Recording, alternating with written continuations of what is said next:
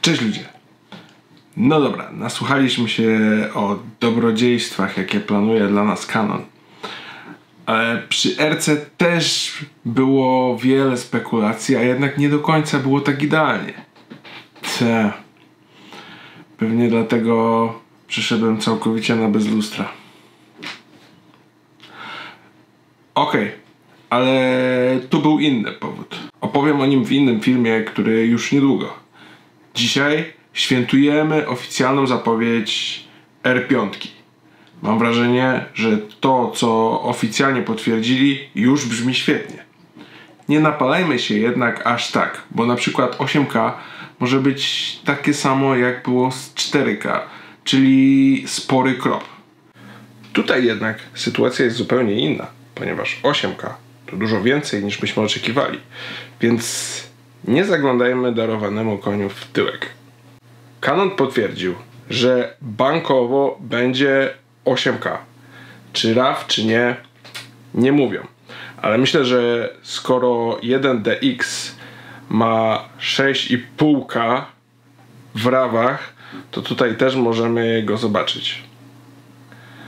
Następnie stabilizator obrazu, wbudowany w korpus po raz pierwszy w yy, aparatach Canona.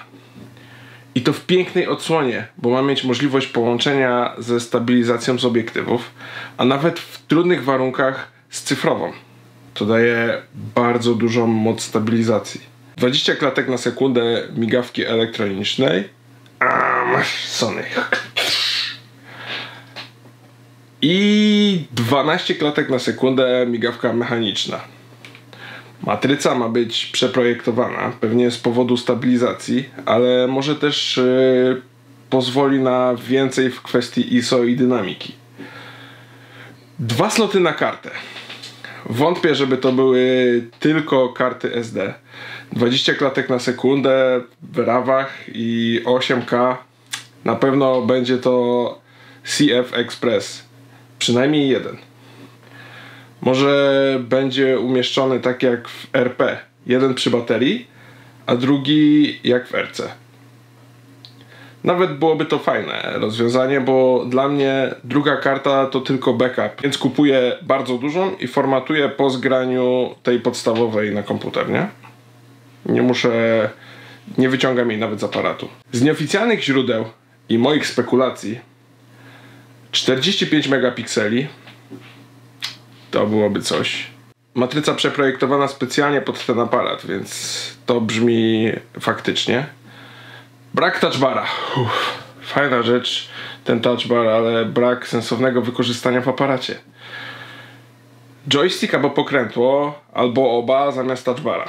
Myślę, że nawet takie coś jak w 1DX Mark III, taki dotykowy, yy, dotykowy joystick jakby. Dla mnie to by było najlepsze. Przełączanie między live view a filmowaniem takie jak w lustrzankach. O tak, to coś czego mega potrzebuję. Bo często zamieniamy się rolami. W sensie takim, że na przykład czasem niektórzy z nas mają już nagrany materiał i mogliby pyknąć zdjęcie w tym czasie i za długo to trwa. Za długo. Dwa przyciski. Dobra. 4K w 120 klatkach na sekundę. Nie do końca wierzę, ale nie sądzę, żeby jego zapis wymagał więcej niż 8K RAW, więc kto wie. Całkiem możliwe. Wbudowane Wi-Fi 5 GHz, czyli dużo mocniejsze i mniej zaszumiony sygnał, bo większość urządzeń ma 2,4. Powinien działać szybciej i sprawniej. Bateria o większej pojemności, chociaż ma być kompatybilna z 5D Mark IV, czyli taka jak LPE6. Startują z zupełnie nowym serwisem. Nazywać się to będzie image.canon. Taki jest też link. To ciekawa usługa, która może bardzo ułatwić nam korzystanie z aparatu, zarówno dla profesjonalistów, jak i amatorów.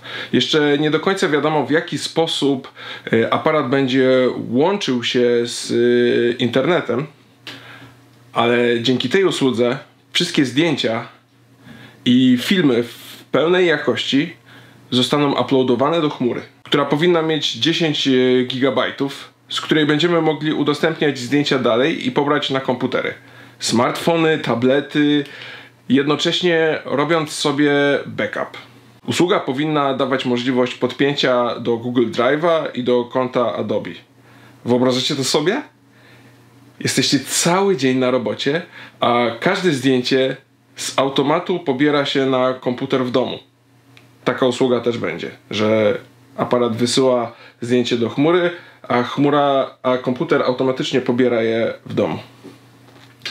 Przychodzisz, siadasz do kompa, a tam już wszystko pobrane. Dzięki tej usłudze będziesz mógł przygotować galerię dla gości weselnych na smartfonie i zostawić im ją jeszcze przed wyjściem z imprezy. Jako backup pełnej rozdzielczości zdjęcia będą przytrzymywane tam przez 30 y, dni, czyli nawet większe projekty i wyjazdy masz zarchiwizowane. To chyba nawet lepsze niż dwie karty w aparacie. Aplikacja ma być darmowa, ale nie sądzę, żeby usługa była. Raczej liczyłbym na jakiś abonament. Ci, którzy zaczynają, będą mieli mocno ułatwione życie, ponieważ nie będą musieli uczyć e, zgrywania się tych kart i, i archiwizowania. Będzie to dla nich bardziej naturalne. Wiecie, dzisiaj ludzie przyzwyczajeni są do robienia zdjęcia z smartfonem, gdzie od razu już mają te zdjęcie. Sam czasem wolę zrobić zdjęcie tylko telefonem, tylko po to, żeby móc od razu je uploadować kosztem jakości, y, a z czymś takim zawsze będę wolał złapać za aparat, bo zrobię zdjęcie aparatem, ale też je mam już od razu na telefonie. Canon, nie spieprzcie tego. Liczę na was. To może być naprawdę mega fajna usługa. R5 miał być przedstawiony na targach CP+. Niestety zostały one odwołane z powodu koronawirusa powinien wejść do sprzedaży w czerwcu 2020. Oby. Żebym mógł jeszcze w tym sezonie się nim nacieszyć. W drodze jest też R6, który ma być tańszą wersją. Coś takiego jak między 6D przy 5D, który też ma mieć stabilizację matrycy i też powinien być ogłoszony w tym roku. Poczekamy, zobaczymy. Jeśli te spekulacje a przynajmniej ich większość się potwierdzi, będę najszczęśliwszym człowiekiem na świecie. Od dwóch lat zastanawiam się nad przesiadką na Sony. Powstrzymały mnie ciekawe szkła, które Canon y, zaproponował do Erki i z tym aparatem, z R5 nabiorą one jeszcze większego sensu. Szczególnie mój ulubiony 2870 ze światłem 2.0. Nie ma stabilizacji. Tam będę miał stabilizację w body. Dajcie znać, co sądzicie o tej bestii i czy będziecie kupować. Ja raczej na pewno. Ciekawe, ile będzie kosztować. Myślę, że coś koło 15 tysięcy. 3990 dolarów. Czyli 18 tysięcy. Zobaczymy.